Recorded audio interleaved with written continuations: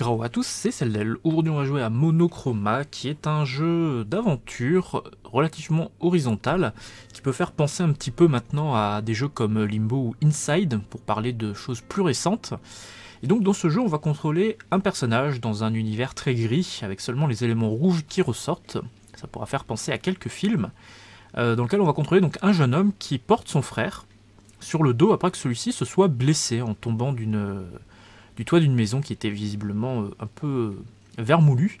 Et du coup, on va devoir traverser un nombre effarant d'environnements pour ramener notre frère, on ne sait pas trop où. Et malheureusement, pour une raison qu'on découvre un petit peu au fil de l'aventure, il y a visiblement des hommes qui sont mal intentionnés, qui essayent de récupérer les enfants. Alors on ne sait pas vraiment pourquoi. On a vu une zone un peu bizarre où ils étaient dans des sortes de, tubes géants. Bon. Ça nous rapproche un petit peu d'Inside d'ailleurs. Et du coup, bah, il va falloir réussir à progresser, et le jeu va avoir euh, un certain nombre de phases de réflexion qui vont nécessiter qu'on dépose généralement notre frère bah, dans la lumière, il y a qu'ici qu'il accepte d'être déposé, afin de trouver une façon de libérer la route devant nous pour pouvoir passer avec lui. Lorsqu'on l'a pas sur le dos, on va pouvoir courir beaucoup plus vite et sauter beaucoup plus haut. Donc ici notamment par exemple je peux atteindre cette zone, cette plateforme qui n'était pas disponible auparavant, à une hauteur qui n'était pas accessible, je veux dire, auparavant. Donc bah, par exemple, je vais pouvoir ici, accéder à cet endroit, baisser l'interrupteur, euh, qui va nous permettre d'aller récupérer le frérot, comme ceci. Alors c'est une zone que j'ai pas faite, celle-là, donc je ne la connais pas encore, je la découvre, c'est un peu plus sympa plutôt que rouler sur les, sur les énigmes et de réfléchir un petit peu avec vous. Ça montre un petit peu plus de réalisme dans le jeu. Et donc bah, ici, il va falloir à nouveau le déposer. On ne peut le déposer que dans la lumière, sinon il refuse. donc bah, cette fois, je peux plus atteindre euh, en haut. Ah si, je peux. Bon. Je pensais pas que c'était possible, et du coup, il va falloir relever. Du coup, on le récupère, et puis on va repasser. Je pensais qu'il faudrait que je passe par en dessous à droite, mais a priori, c'est pas le cas. Donc ici c'est bon. On peut avancer. Et on va nous proposer toute une série de situations avec des interrupteurs, des objets à déplacer, des choses comme ça.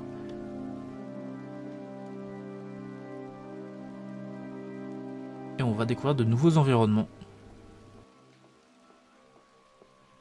Avec des scènes euh, bien stressantes, des fois on va se faire courir après. Aïe. Les chiens, ça fait peur. et euh, des situations dans lesquelles on va euh, pouvoir de, justesse leur échapper. Euh, faut que j'aille où là? Ah, va falloir que je rentre carrément dans la maison, d'accord. On rentre chez les gens, tranquillement. ici, je vais pouvoir m'accrocher au câble électrique, c'est pas du tout dangereux. On va pouvoir grimper sur les échelles, on va pouvoir, pour aider notre frère en général à, grimper. Quand on est avec lui et qu'on peut sauter moins haut, va, va falloir par exemple lui descendre les échelles pour qu'on puisse l'atteindre quand on l'a sur le dos. Atteindre l'échelle. Euh, ce genre de choses. Euh, à gauche Faut-il aller? On peut sauter là? Oui. on va aller à la maison à droite. Ah, ici il y a une boîte.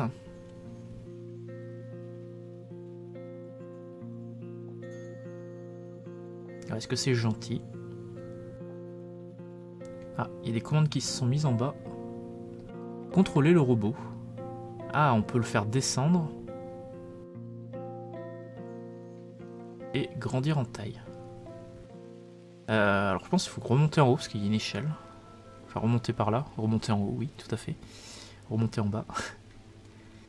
Du coup, qu'est-ce qu'on a par ici?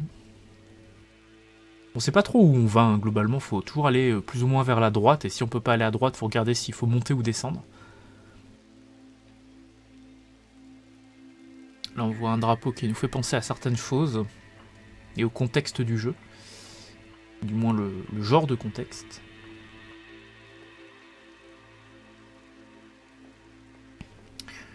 Et on se retrouve ici. Alors faire attention quand on descend. Hop.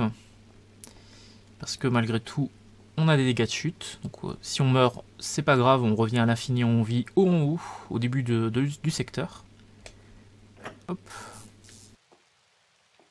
Là j'ai allumé de la lumière. Tout en haut à gauche, donc je vais pouvoir poser le petit frère. Sûrement.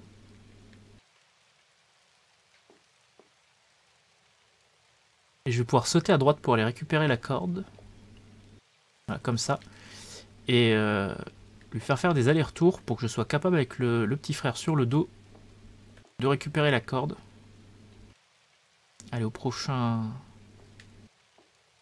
Voilà, comme ça. Chose que j'aurais pas pu faire directement si je l'avais lui sur le dos, quand la corde était immobile. Donc voilà, on a plein de petites situations comme ça, ce sera jamais très compliqué, il faudra euh, un peu analyser la situation. Les situations malgré tout sont relativement variées, même s'il n'y a jamais quelque chose qui soit, euh, je trouve, particulièrement original, du moins dans à peu près le, quart du jeu que j'ai fait. Donc peut-être que ça vient après, par exemple la phase avec le robot je l'avais pas eu. Je sais pas s'il y en aura une euh, un peu plus intéressante à utiliser au-delà de la présentation, on va dire, du, de la machine et du fonctionnement.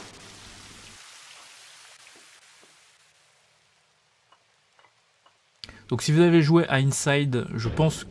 Attention, on me après. Euh, je pense pas que le jeu va spécialement vous, intéresser parce que je pense globalement il est comme un peu moins intéressant qu'Inside à un certain nombre de niveaux. Par contre, si euh, vous avez envie d'avoir un jeu un peu équivalent, on va dire, mais en ayant conscience qu'il est peut-être un peu moins euh, fignolé, je pense que ce monochroma peut être très sympa. D'autant que comme il est sorti il y a un certain temps, régulièrement il est en réduction. Si vous avez quelques doutes, donc ça peut être l'occasion de l'acquérir. Au moins que vous l'ayez déjà dans, un, dans votre bibliothèque.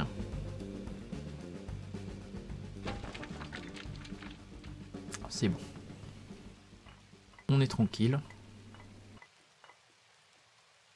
On continue d'avancer. Sachant que le, jeu a quelques bugs de collision parfois.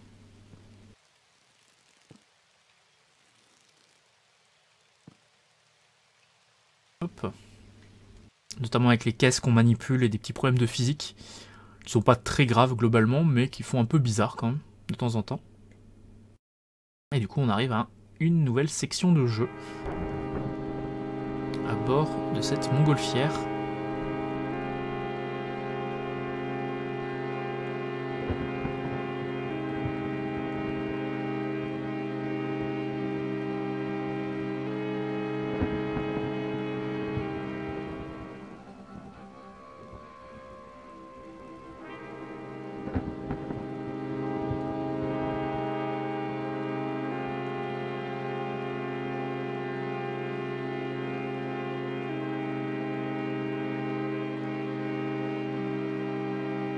Je peux rien faire. Hein.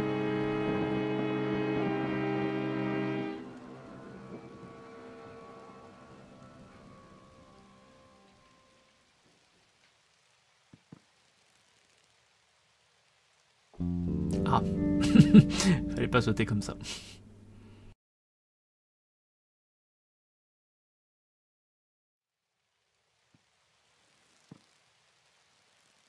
Alors il faut peut-être sauter à droite, non? Je pensais qu'on allait peut-être s'accrocher au tuyau, mais a priori c'est pas le cas. Euh, alors qu'est-ce qu'il faut, faire?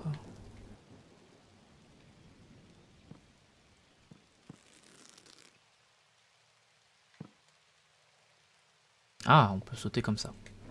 Je ne savais pas. Donc là, la montgolfière va s'en aller. Ah non, elle va taper. Ouh, ça va mal se finir cette affaire.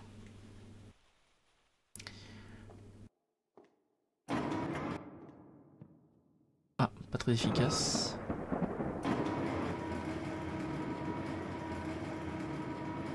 D'accord, si je laisse appuyer, ça monte. Si je relâche, ça tombe.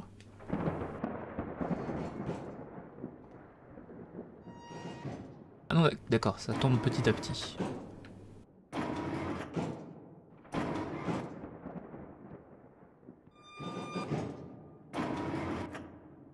Euh, du coup, il faudrait que je passe. Voilà, comme ça. que je ressaute là, hop, pour passer dans l'étape intermédiaire de l'ascenseur. Ensuite, il va falloir que je grimpe aussi avec celui-là. Comment je fais?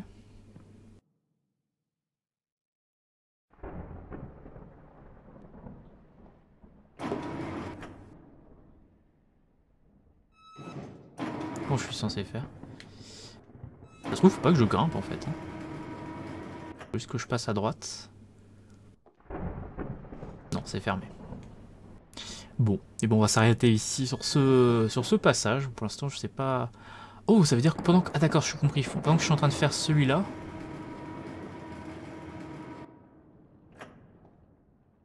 Ah, et en plus, je peux pas passer à gauche. D'accord, il faut que je laisse le frère dans l'ascenseur de droite. Ouah, c'est chiadé. Je laisse le frère là. Je remonte le truc tout en haut. Et ce que j'ai fait pour passer au milieu, il va falloir que je le refasse pendant que l'ascenseur de droite est en train de tomber. Pour pouvoir euh, qu'il me serve d'escalier entre l'étage 2 et 3.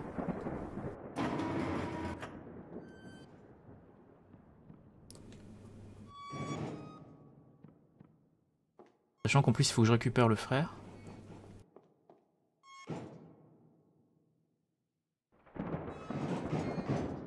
Faut qu'il descende un tout petit peu. Voilà, hop. Et là, on passe. Waouh Fallait pas se planter.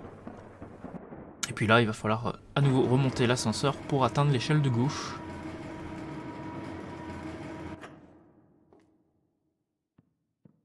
Voilà. Allez, du coup, sur ce, cette énigme résolue. On va s'arrêter, donc euh, Monochroma coûte 20 euros, il est disponible sur Windows, Mac, Linux et Xbox One. C'est une euh, petite aventure sympathique, je crois qu'elle dure 4 ou 5 heures environ. Euh, sans grande originalité, on va pas se mentir, malgré tout les environnements sont plutôt sympas, les situations assez variées, mais le jeu n'a pas grand chose d'original. Donc si vous êtes déjà un grand adepte des, de ce genre de jeu d'aventure en vue de côté, euh, il y a de grandes chances qu'il n'y ait absolument rien qui vous surprenne euh, du début à la fin du jeu, si ce n'est peut-être euh, quelques revirements dans le scénario du jeu qui pour l'instant est plutôt un petit peu plat, je trouve. Du coup, je vous remercie d'avoir suivi cette vidéo, je vous fais des papouilles et on se dit à très bientôt.